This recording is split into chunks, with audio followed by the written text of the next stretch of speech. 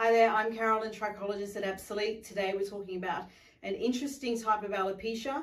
It's called frontal fibrosing alopecia. So I'm getting questions like, what is this frontal fibrosing alopecia? So the first thing is it's autoimmune and it's a pattern of scarring. So it's a scarring type of alopecia, uh, which won't regrow and it's always on the frontal hairline. Okay, so it can be very easily confused with uh, female pattern hair thinning. But what happens with the frontal fibrosing alopecia is we're, caused, we're getting follicle destruction uh, at a cellular level. So it actually kills the hair and it won't regrow. So what I want you to know is the first signs of the frontal fibrosing alopecia are these little bumps. Uh, we're going to put this video, uh, so this photo up as well. You can see there's these little bumps that appear at the front. So what it is, uh, is the follicles are raised and there's inflammation under there and it's telling you that the immune system is actually attacking. So if you're seeing these little bumps and you think it's pattern hair thinning, you need to investigate the fact that it's um, frontal fibrosing uh, alopecia. So when you see the bumps, it's actually physically active, meaning there's an autoimmune uh, attack going on. So then the next thing is what are the triggers? So we're, what we're finding there's a lot of autoimmune conditions these days.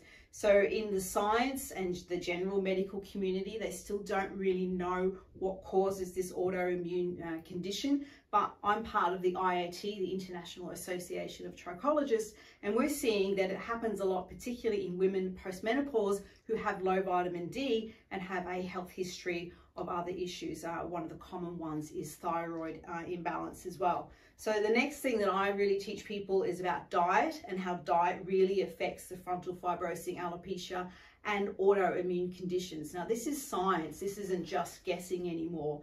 Gluten, dairy, sugar, they are your enemies. If you're eating those things and you have this raised follicle fibrosing, you need to get them out of your diet. Every time you eat the gluten, the dairy, and the sugar, it is actually causing inflammation in your stomach and can contribute um, to the attack.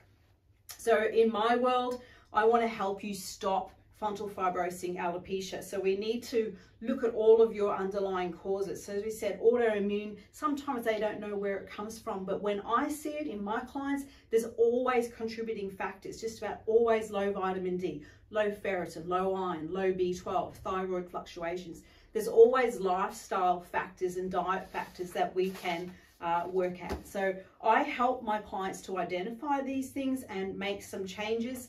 And then we say, can it go into remission? Absolutely yes. So this is a client Again, I've been working for uh, with two years with frontal fibrosing alopecia. You cannot regrow this. Once the follicle is destructed, that's it. But what we have is we've actually got it into remission and we've got some hair growth around those areas because she also had some hair cycle problems. So her actual physical hair growth was not quite good because of the lows that she had. So we've got a good uh, result in the hair growth around that area. I'm never going to grow back these areas because they're scarring, so we can look at uh, other factors there. The other thing with frontal fibrosing alopecia, it can go all the way around the hairline. So this is the nape, so it's gone through the back, but here you can see we're gaining a good amount of hair growth back here uh, as well. So then uh, we say, can you regrow your frontal hairline? Well, the answer is no, but we can use things like uh, clip-in hair pieces,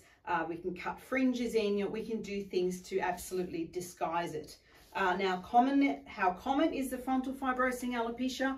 I've been a trichologist for over 25 years. I'd be lucky if I saw one every two years. Now I'm seeing one a week. Okay, so autoimmune is a huge thing that you need to be uh, aware of.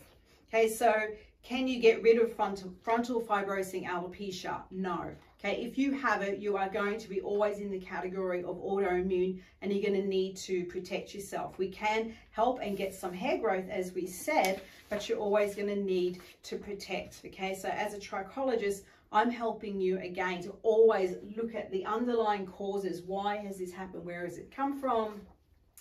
And how do we get you into remission? I might use products, but I use a lot of nutrition. You know what to do. If you have questions for me, email info at